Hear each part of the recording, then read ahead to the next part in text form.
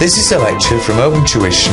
For the free lecture notes that go with this podcast, please visit opentuition.com. Uh, first of all, the last bit really on um, debt borrowing.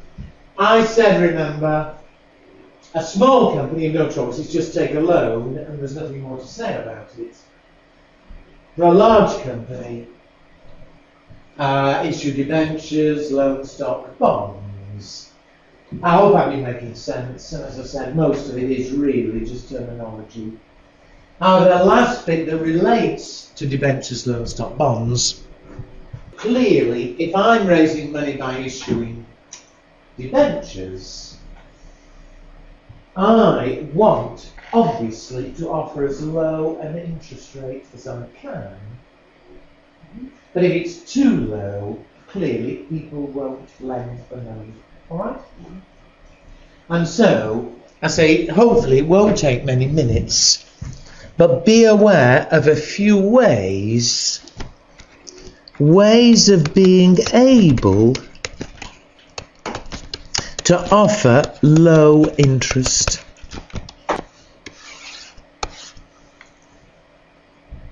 And again, because I've, got to make sure everybody understands. Just suppose interest rates in Latvia and the banks were 10%. I would obviously be happier to borrow money at 8%. But how can I persuade people to lend if I'm only giving 8 when they could get 10 from the bank? You it? That's what I mean. But how can I do it? How can I get Yel- Yelena to lend money when I only give her it? The way out of it is, as you'll see, by offering her other benefits. The first and the most obvious is this promise to repay at what we call a premium. Now here there's no numbers. It's just being clear what we mean and being able to describe it. Uh, but what I mean by that is this. I might issue 8% uh, debentures. And let's suppose 8% is a low rate of interest, alright? So for the moment, that's not very attractive. But they're 8% debentures repayable in five years. Still not very attractive. But I say they're repayable in five years at a premium of, let's say, 10%.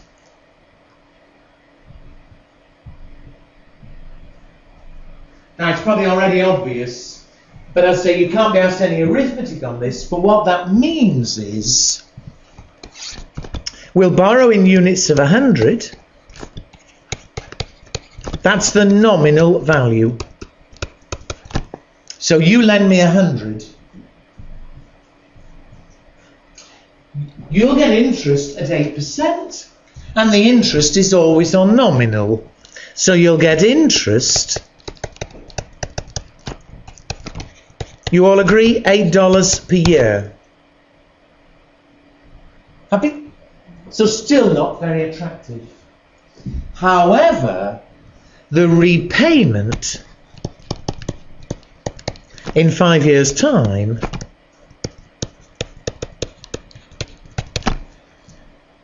normally you'd expect to be repaid 100 but here I've promised that I'll repay you 5% more. If ever it's repayable at a premium uh, 10% rather the 10% is always based on nominal value. So for every 100 I've borrowed I'll actually repay 110 and surely that's going to be much more attractive to you the interest on its own wasn't. But of course, the fact you know you'll get an extra $10 at the end clearly makes it more attractive. It's a reason why you might be prepared to accept less interest. Does that make sense, everybody? Mm-hmm. Of course, the company still ends up paying more, obviously. Um, you know, it, it, it, uh, maybe I'm paying less interest, but I, obviously I end up paying more at the end. But that can still be very good because you see, if I'm borrowing money to buy a new machine, very often a new investment takes several years to start making money for me. And so the beauty of it here is at the beginning when the machine's not perhaps earning very much, I'm paying low interest.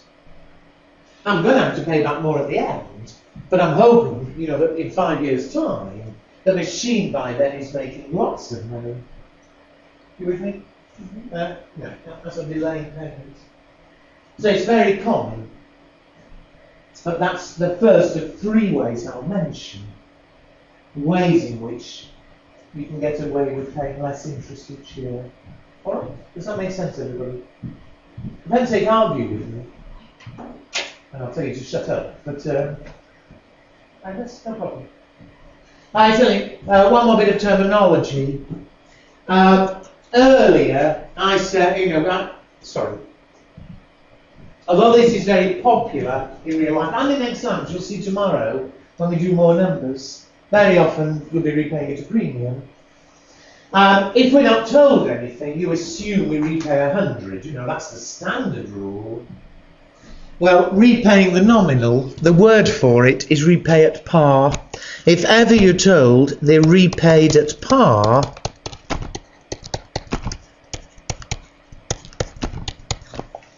repaying at par simply means repay nominal of 100.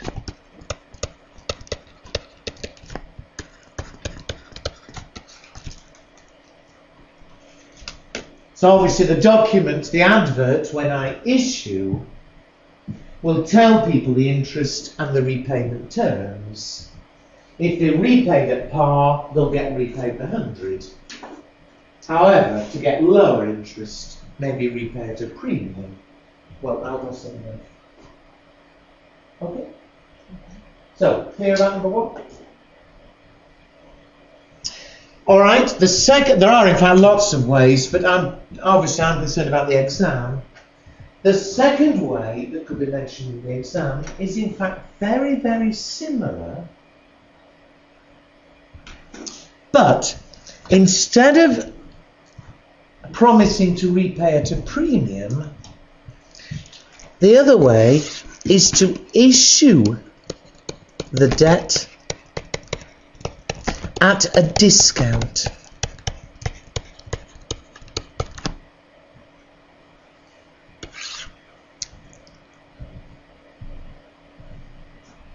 Now again, you can't be asked any numbers on this to make sure you be able to write down what we mean.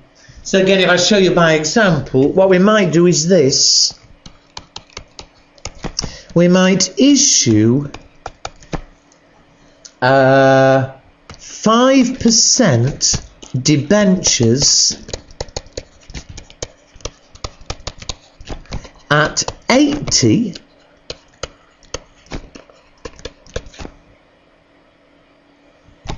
repayable in five years.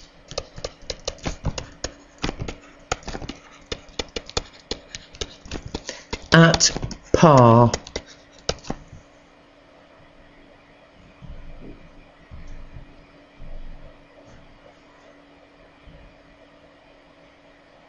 And I'm sure you can imagine already the effect is very much the same. Uh, surely when I raise the money, the company receives only 80.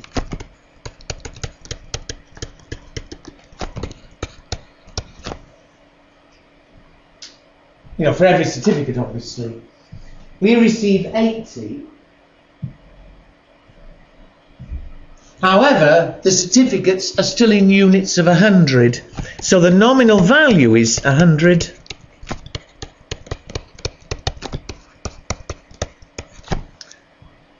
But the company's only had 80. Uh, you'll, they'll pay interest each year. What will the interest be, please, in dollars? Say again. Oh, it was 20. In dollars, how much interest each year? Five. Uh, the, the 5% debentures, and so always it's 5% of nominal, and therefore the company will be paying interest of $5 per year. Clear? Now, already, of course, it means uh, investors are actually doing better than 5%. It's not quite as low as it looked. Uh, because the investor only paid 80, he's going to get $5 a year. And so we're actually paying interest 5 on 80. We're paying 6.25%. Would you agree? However, that's still perhaps a very low rate. Why on earth are they happy to uh, accept only 6.25%? It's because they'll be repaid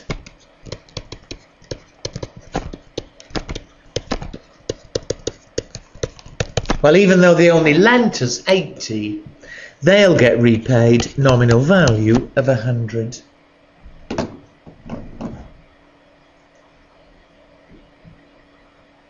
So I must keep repeating, you will not be asked any arithmetic on it, but be clear what we mean by issue the discount and why people might like it. Company likes it because the interest payments each year are lower than they otherwise would be. Hopefully in five years we can afford all that extra. Investors, everybody's different, but again it's a bit like I said earlier, uh, if our investors are people who aren't particularly worried about the income, all right, uh, but would rather have a higher value, I think you know what I mean. In fact, I remember what was very popular in the UK about when was it? About 15 years ago. You got a lot of companies that started, it became very popular, issuing what they call deep discounted bonds, where there's a huge discount. Uh, or even zero coupon bonds. What to do, there's no to write this down, but you'd get companies issuing debt, $100 debt, I will write down, but don't copy it. They were issuing debt at, let's say, sorry, at, up back up to the top, beg your pardon. They were issuing debentures at, let's say, 50. So they were $100 benches, but you're only paying 50. They gave no interest at all. Zero percent. They were called zero coupon. Zero percent debentures issued at 50. Wonderful for the company. They get all that money, and for five years they pay no interest at all. Clear? Why on earth would anybody lend you at no interest? It's because they were repayable at par. And so in a few years' time, you'd paid out 50, you got back 100. Yeah? And know, in fact, we were quite short, so you know, it was only two or three years or something.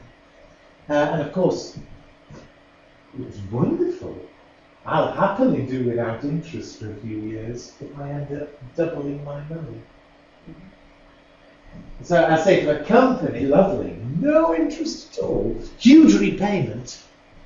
But you know, if it was a new company, they were hoping in a few years, oh, we'd be so big we can easily afford to repay. Investors were very greedy. People love them because know, huge repayment. Because the one big risk is